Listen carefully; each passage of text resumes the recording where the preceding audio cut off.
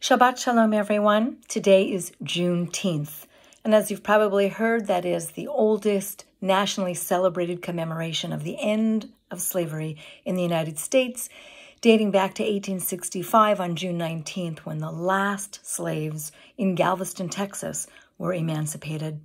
And it behooves us as Jews to really understand and appreciate how, appreciate how important Juneteenth is in the world because we know how important it is to celebrate our freedom year in and year out, from generation to generation, every year that we celebrate Passover. It is important to remind people that there were slaves, there still are slaves, and that freedom is a great right of all human beings. I'm grateful to Black leadership for helping us understand the importance of Juneteenth.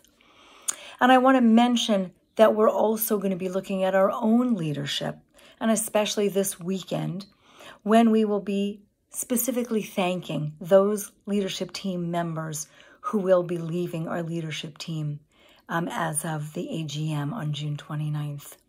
And so I invite you to have a weekend in which you reflect back on your own freedom and how we can be a force for the freeing of all people in our lifetimes.